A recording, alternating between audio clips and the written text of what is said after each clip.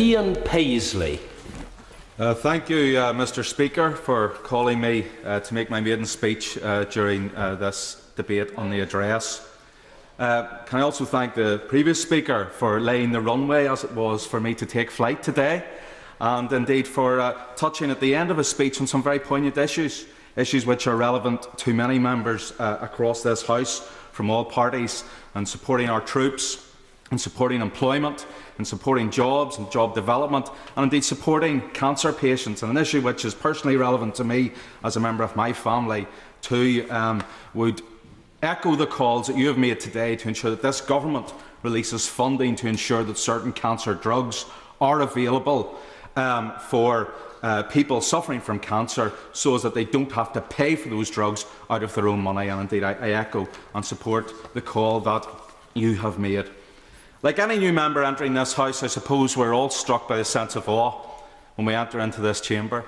Uh, anticipation of what lies before us as parliamentarians and as members of this House, and indeed fully aware of the history of this place. And I suppose I, I know that another, I'm aware of some of the burden of that. Um, I, have been graciously mentioned by some previous speakers on Tuesday during the, the, the, the Queen's uh, uh, uh debate um, in particular um, uh, the member for North Belfast and of course the, the member for East Leicester uh, mentioned Mayor Leicester East uh, in his comments. Uh, and uh, they, they, both uh, I suppose encouraged me by saying don't worry it's, it's, okay to be talked about in this place. It's when you're not talked about when it, that, that, it, that, it isn't so, so good.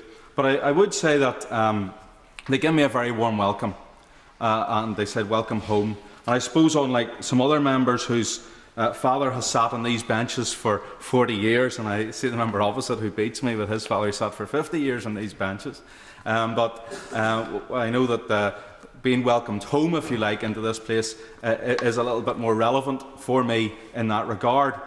Uh, someone said earlier today that uh, most people tend to leave this house to spend more time with their family. I suppose I could be forgiven for coming to this house to spend a little bit more time with my family members who uh, have been in this house and are in another place uh, today. So it is good uh, to actually be here. I can also say that um, I suppose I, I, also have to follow in giant footsteps, and like my constituency that boasts the Giant's Causeway, I, I follow in the footsteps ever so lightly of a giant public representative who represented North Antrim uh, for four decades and uh, made the case for those people without fear or favour and made an imprint not only in Ulster politics, on the politics of this House and British politics, but indeed also in Irish politics, and I salute him for that stand that he made. I know that making a, a maiden speech, you have to say something complimentary about those people who have gone before you. And I suppose at, at this point, a, a, member advised me, you know, you, you could now use parliamentary pr privilege and say what you really like about your father. Um, but uh, I, I, I, must say, what, what, you see is what you get. There's nothing else to tell you.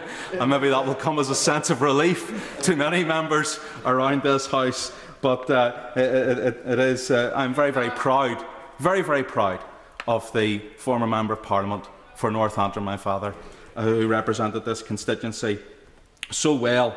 And indeed, even though he did set me a challenge before the election that if you don't get elected, you're no son of mine, I'm glad that the 19,000 odd voters for me confirmed my parentage uh, uh, uh, uh, at election day and didn't leave me with that scarring.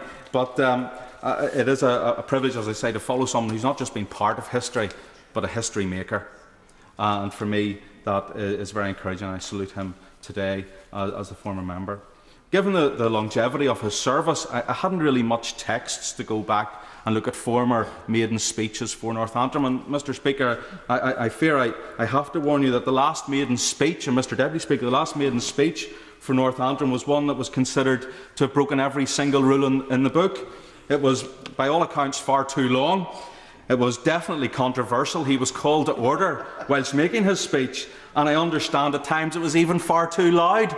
Uh, but I, I, hope that, uh, I, that, that, you will indulge me today, that I will, I will not uh, go into any of those uh, misdemeanours, but maybe on other occasions you will indulge us Ulster members as we continue our controversies from time to time. I can also say that um, the contrast between the time when the former member for North Antrim made his maiden speech in 1970 I make my speech could not be more stark. When he made that speech, Ulster was tearing itself apart. Civil unrest, economic uncertainty, uh, political instability. I'm glad that today, when I have the privilege of making my maiden speech on behalf of the electors of North Antrim, we know that the helplessness has given way to hope. We know that the heartache has given way to heart rejoicing. That we see terrorism has been turned on its head, and that we see that there has been a dramatic change to the um, situation in Northern Ireland. A dramatic change that has led, I, I believe, to hope, to economic opportunity, despite the cuts that are being threatened by the government, but indeed uh, opportunity for all the people. And I welcome that and indeed look forward to working in this Parliament to make that hope a reality for all my constituents and for all the people of Northern Ireland, because I believe that is incredibly important.